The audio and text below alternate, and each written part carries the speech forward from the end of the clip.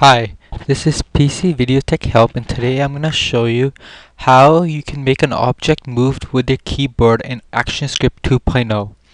First, simply start off by clicking and opening up an Actions 2.0 file. Then, create any object that you like. For the tutorial uh, purposes of this video, I'm just going to make an oval. Okay, then click on the selection tool, right click onto your object and click on convert to symbol. This is required if you want to make your object move because you actually have to give your symbol a name.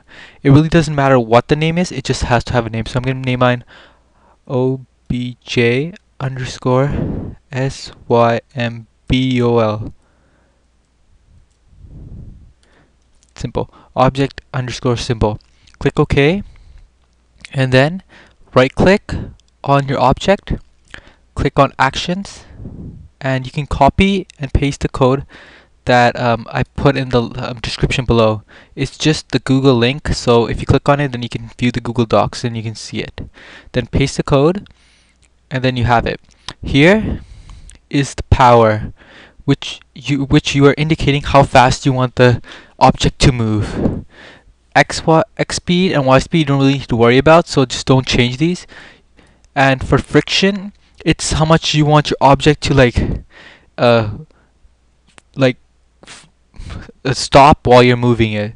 So you can you don't have to keep friction. I paste the code for with and without friction. If you just want to get rid of friction, just delete this, delete this, and delete this that's now you got now you got rid of friction or you could just turn this value to zero. Well if you want to keep friction like I'm gonna do just keep just change it whatever you want. So if you want to just change your you can the only two things that you really need to change in here is the power right here 0.5 or you can change the friction to point uh, whatever you like or you can change it even to like 10 so if you want to view your um, your video, just click on control, test movie.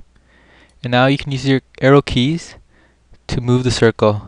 Notice this is going very slow and it's there's actually a lot of friction. So if you want to just decrease the friction or increase the power to like 3 or 2.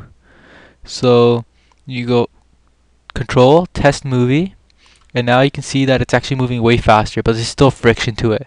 You can increase the friction increase the power you can do whatever you like. Uh, thank you for watching. Please rate and subscribe to my channel. And if you have uh, an idea for a future video please um, leave it in the comment below